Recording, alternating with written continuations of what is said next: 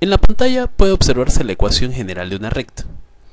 Para hallar la pendiente de la recta y un punto que pertenece a esta recta, se puede seguir el siguiente procedimiento. Primero, despejar la variable y, es decir, la variable dependiente. 3y se mantiene en el primer miembro, 2x pasa al segundo miembro con signo cambiado, en lugar de 2x pasa menos 2x. Menos 5 pasa al segundo miembro como más 5.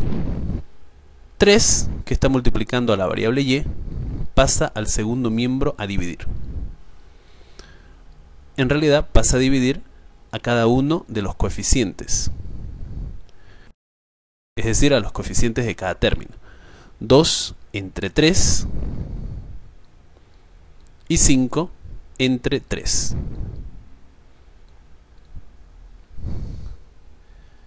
Una vez despejada la variable y, la pendiente será igual al coeficiente que acompaña la variable x con su signo, menos 2 tercios en la pendiente de esta recta. Para hallar un punto de la recta, puede elegirse un valor de la variable x, el valor que el alumno quiera.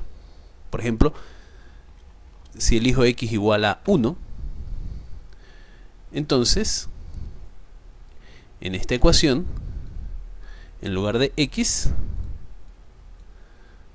anoto 1.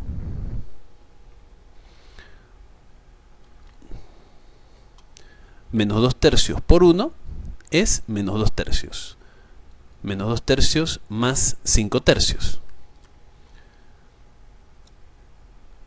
Como se trata de una suma de fracciones homogéneas, se repite el denominador y se suman los numeradores. Menos 2 más 5, 3.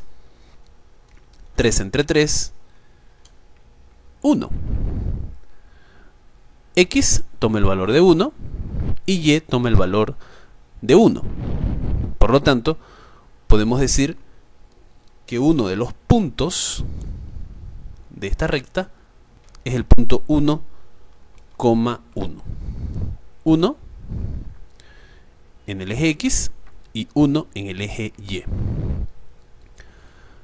Por supuesto, si se asigna otro valor a la variable X, se obtendrá otro valor en la variable Y, y así de esa manera pueden encontrarse infinitos puntos pertenecientes a esta recta.